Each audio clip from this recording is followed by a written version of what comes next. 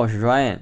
呃，在今天的课程中呢，我们将会为大家介绍一下这个 jQuery Ajax 功能的使用。Ajax 呢就是异步请求，呃，熟悉呃 JavaScript 的同学相信对这个概念并不那么陌生。呃，异步请求呢就是从呃远端的服务器获取一些 API 的信息，获取一些 object 呃文件，来呃在我们页面上进行显示，或者以提供一些我们呃需要的一些呃数据。呃，一般呢，所一般呃网页网页上基本上所有的 API 请求全是靠异步访问来实现的。今天呢，我们会简单给大家介绍这个，呃，在这一系列 Ajax 系列课程中呢，我们将我们将会给大家介绍这个 load 的使用，get 的使用，还有 post 的使用，还有一个叫 get script 的使用。啊，最后呢，我们会讲到一个最最最常用的叫 Ajax 的通用的一个函数的使用。首先，我们来看一下最简单这个 load 的使用，load 的使用呢。呃，其实很很简单，呃，就是第一个参数就会传入它的 URL，然后第后两个参数呢是它的可选参数，一个是 data，一个是 callback。然后我们来看一下程序，呃，在这里其实我也给大家写好一个程序了，这是示例程序的一部分。这边呢，我有一个 results 的空白的 div，然后呢，button 这边我会写是 click me，就就像这边一样。然后在 ready 的时候呢，我给 button 上添加了一个 onClick 的 handler，然后在里面呢，我添加了一些逻辑，我把它存一下。这边 re refresh 过了哦。另外呢，我会把这个 network 这边这个 Chrome 的 network 这个 tab 会打开，这样你可以看到任何 network 的 request。好，这时候呢，给大家讲一下这个 function 里面的逻辑。首先呢，我定义了一个呃，它其实是个 string。呃，我定义它其实是一个 string，然后呢，这个 string 呢里面其实是一个 HTML 的 tag，也就是呃它的意思是加一个 image，image 的 source 呢是 loading GIF，它大概就是给大家显示一个 loading 的 page，就是大概就是这个图片，嗯，Ajax，就是这样的一个图片，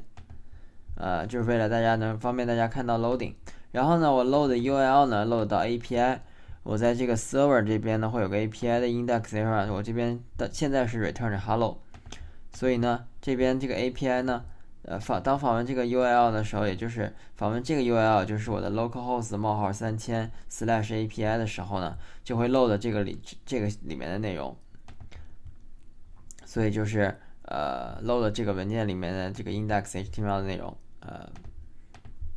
所以呢，我们来看一下效果呢。这个效果呢，其实这个的意思呢，就是，呃，我先先看前面，我们之前选之前学过了 HTML 的使用，就会知道是先用 selector 找到 ID 是 result 这个呃这个元素，然后再给它的 HTML 里面加到加了把把它的 inner HTML 变成这个变成这个 image tag，此时它就会显示那个 spinner，就是那个 loading 的那个刚才那幅图。就这个 loading 这个 GIF，然后呢，我用这个 chain 的功能这块，我之前我给大家说过好几次，这个 chain 的功能怎么使用，就是在之前这个完成了之后，我还可以再干另一件事，也就是我把它的内容变成了 image tag 之后，我再进行 load，我在这个 tag 内容之中进行 load，我 load 到的所有东西都会放到这个 tag 里面，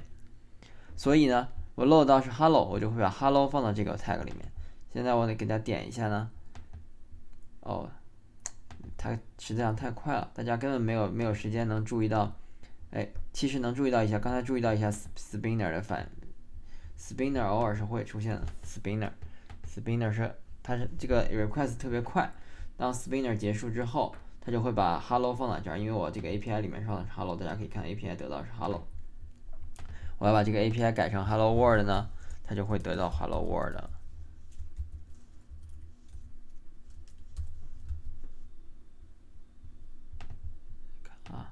Hello World，这就是它可以获得 API 里面所有内容。这里呢，我我这边可以写一个 HTML tag，我写一个 div div Hello World div，嗯，div Hello World div，嗯，我重复上两遍吧。这个是好，这边呢。我要一个访问呢，它就会刚才那个 div hello world div 整个的 HTML 都放进来。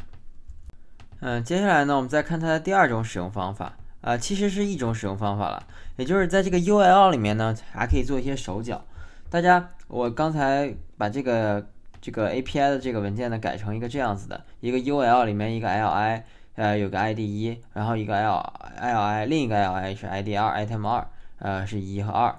然后呢，我在什么都没有改动之前呢，我把这个先删掉。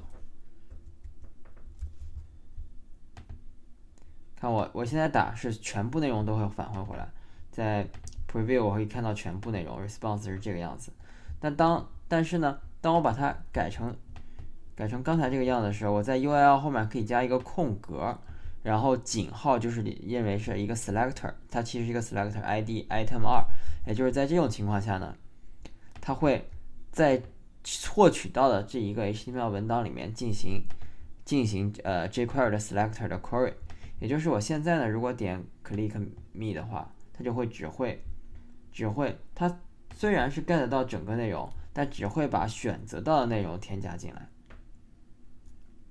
这就是它们的区别，在后面加井号可以选择呃获取到的所有的的全部内容之中的某一些信息，id 等于 item 二，就只会把这一这一个 inject 到呃这个这个。Container 这个 selector 里面，就当前的 selector 里面，也就是当前 selector 是 id 等于 result，就把这个 li 加在里面了。呃，我们看过这个单传一个 URL 的情况，我们看到呃用 URL 进行传 selector 的呃使用方法，但是呢，我们还想再我再想给大家讲一下后面这两个参数的作用。第二个参数呢，data，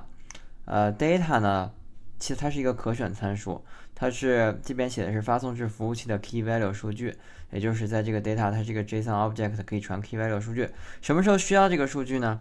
一旦这个数据有的时候，这个 load 呢就会机就会使用 post function 而不是使用 get。大家可以看 network tab 这边。啊，我电脑有点慢。我当我点它的时候，实际上是 get request，因为我这边。这边并没有传任何呃参数，我这边传的是 no。那我这边有参数的话，它就是 post。所以说这个区别是很简单的，我就不给大家大家在这里演示了。然后呢，我会给大家演示一下 callback。callback 什么意思呢？就是当这个 load 引这个事件全部发生完，也就是当数据已经载入之后，这个 callback function 会被 Ajax 呃会被这个 jQuery 呃里面的系统这个函数的 API 这个函数的内部东西在被回调。这是它的回调函数，也就是呢，我在这边给大家写一个例子。目前呢，我这个 API return 的值呢是 after Ajax，然后在 Ajax 之前呢，我这边是，我这边是写的是 before Ajax，然后当 click me 的时候呢，我这边是这样一个 function，呃，result 点 html 还是呃刚才那个 loading page 就不管了，然后我会 load 这个 URL 的内容，这个 URL 内 URL 的内容就是 after Ajax。然后我传的是 no，所以它是一个 get 请求。在之后呢，我会 alert 一下 results 里面的东西。我们先在发之前要，呃，算了，我就在这里 alert 吧。呃，我先会 alert 一下这个 results 之之后，呃，改过之后的东西。如果看到是 after Ajax，说明就是改过之后的。所以呢，这边，哦，这边怎么会死机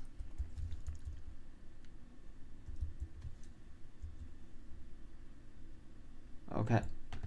我在这边现在是 before Ajax，我点 click 就变成了 after Ajax，这是它的一些功能。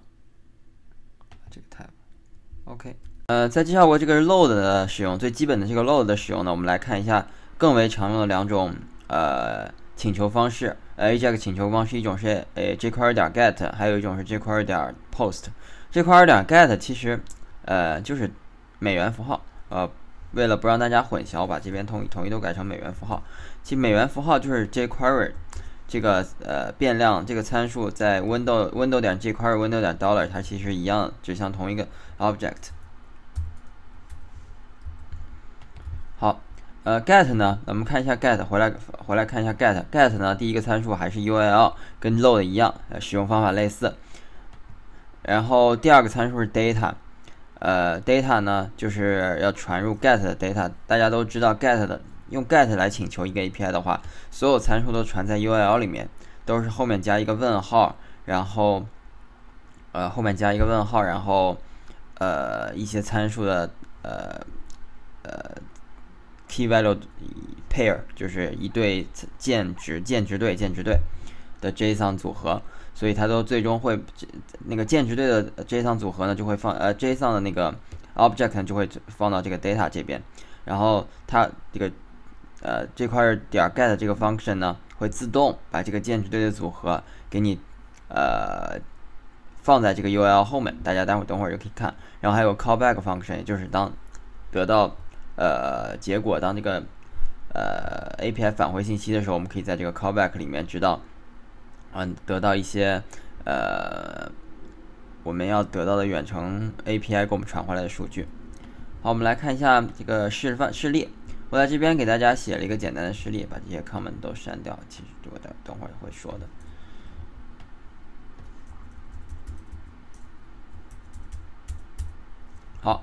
我们这边呢会有一个 before AJAX，还是刚才呃刚才我们那个示范，我们就不不准备改它了。呃，其实这次我们没有任何 DOM 操作，没有任何需要在页面上进行元素操作的这个示例。我们还是在 onClick function 里面给它加了一个 jQuery，就是 dollar 点 get function，还是 get 到这个 API 里面的东西。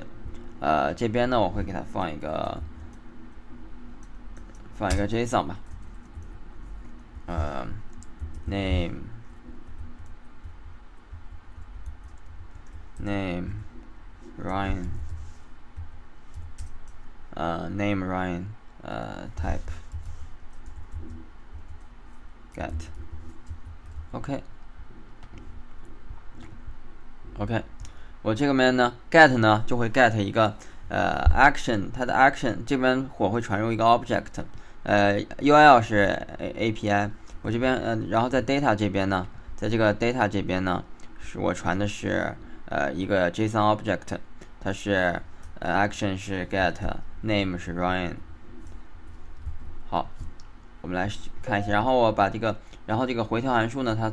会自动传入两个参数。第一个参数当然是 data 了，也就是远端返回回来 data。还有一个就是 text status。等会儿我给大家调试的时候，大家看一下这边是会传传传回来什么参数。好，我现在就呃从呃 reload 了这个这个 page，我点一下 click me。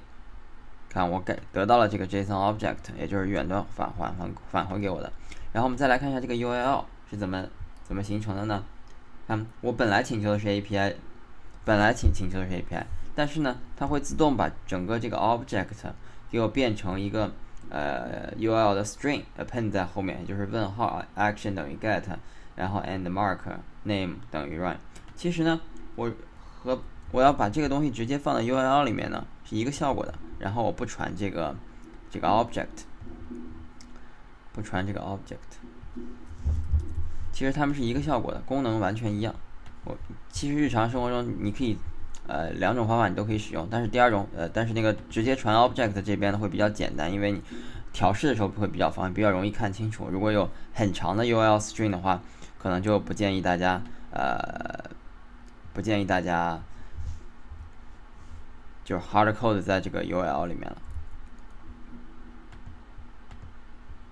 还是得到这个，然后传的 U L 是一模一样的，就是这样。然后呢，我们再看一下，在 debug 模式呢，我加个 debugger 在这儿。当我点击它，就要停在这儿的时候，我给大家看这个参数会传回来什么。首先，data 毋庸疑问是呃那个文件的内容，我请求的那个 API 返回的内容。然后 text status，当然这里肯定是就是。呃，用 text 的形式来表现它的 status，就可以看出它现在是 success 还是 failure。